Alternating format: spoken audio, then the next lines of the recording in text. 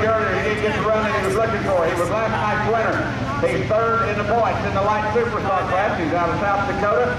The track is a lot different right now.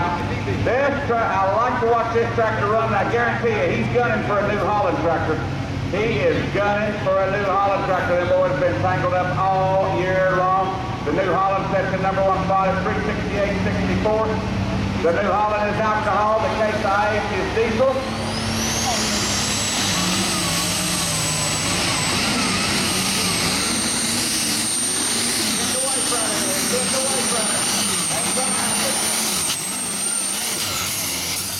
When he got that high,